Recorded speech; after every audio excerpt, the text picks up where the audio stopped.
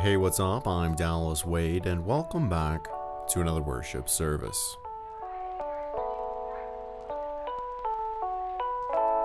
What would it take to convince an atheist that your God exists? I obviously can't speak on the behalf of every single atheist, but as an atheist myself, I can at the very least speak on my own behalf. I don't doubt that there are plenty of atheists out there who would refuse to believe in a God even if you could provide them with indisputable proof that one did exist. But from my experience, it does seem like the vast majority of atheists are fairly open-minded people, and I like to think that I am too. I am an atheist, but I would be more than happy to believe in a God, even the Christian God, if it could be demonstrated in some way that he did in fact exist. The only problem is that as of now, this hasn't happened yet. But a good question that Christians sometimes ask me is this. You say that you would believe in the Christian God if there was proof that he did exist. But what kind of proof are you looking for? What kind of proof would you find convincing?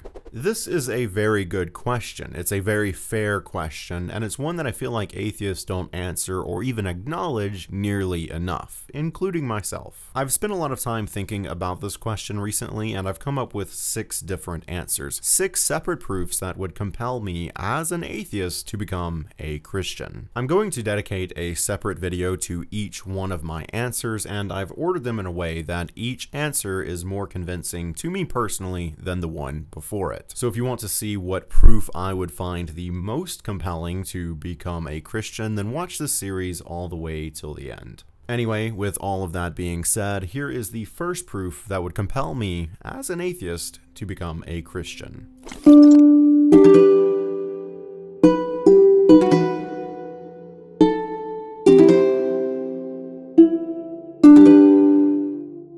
Now, I know this first proof might sound like a bit of a cop out answer, but I can assure you that it's not. If the Christian God actually does exist, and you as a Christian somehow know that as a matter of fact, then I genuinely want to know how. If you somehow discovered this on your own, if this was somehow revealed to you, or if you had some kind of a divine experience, then I want you to tell me whatever it is that you did so that I can repeat it for myself. Because if the Christian God actually does exist and you are being honest and truthful about how you came to know that, then if you share that information with me and I repeat whatever it is that you did with an open mind and an open heart, then I should come away from that experience believing the same thing that you do. If what you believe is true, and if you came to that belief through a reasonable and honest process, then me repeating that same process should lead me to the truth. It should lead me to the proof. And if it does, then I will accept that proof, and as a result, I will believe in the Bible, I will worship Jesus, and I will become a Christian. Now, obviously, this proof requires you to have a reason for why you believe in the Christian God in the first place, and it also requires your reason to be an honest one and a reasonable one. But if all of that checks out, then your reason for why you believe in Christianity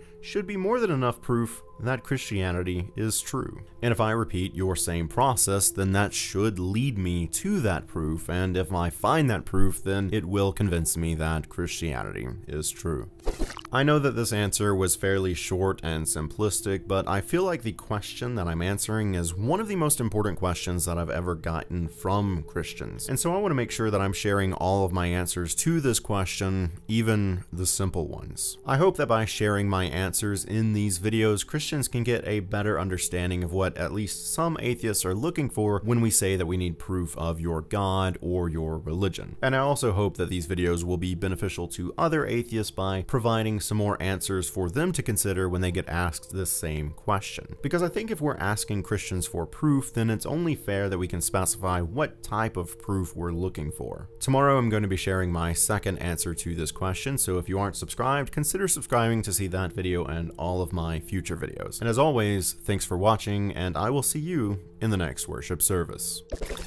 Don't forget to like, comment, and share. Also subscribe and activate that little bell icon if you haven't already. Go follow me on Twitter, Instagram, and Facebook if you'd like to keep up with me behind the scenes. And if you'd like to help support what I do, you can pledge to my Patreon or leave me a tip on Cash App. Links and information for all of that stuff is in the description down below. Thank you for all of your support, and I'll see you in the next worship service.